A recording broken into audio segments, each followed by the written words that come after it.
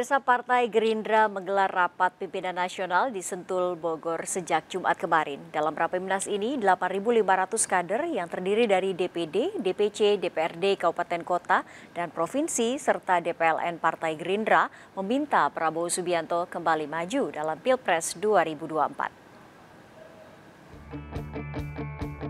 Ketua Umum Partai Gerindra Prabowo Subianto membuka rapat pimpinan nasional Partai Gerindra di Sentul International Convention Center Jawa Barat.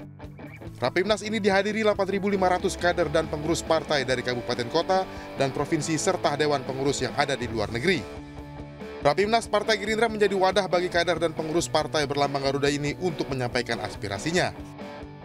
Hari ini adalah tunggal, yakni mendengarkan jawaban dari Ketua Umum atas permintaan, desakan, dorongan dari seluruh kader Partai Gerindra di seluruh Indonesia bahkan di luar negeri yang meminta agar beliau maju dalam Pilpres 2024.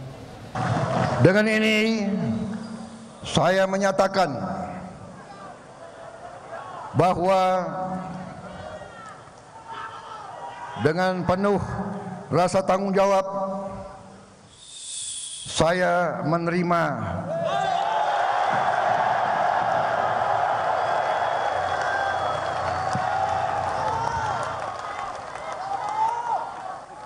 permohonan saudara untuk bersedia dicalonkan sebagai calon presiden Republik Indonesia.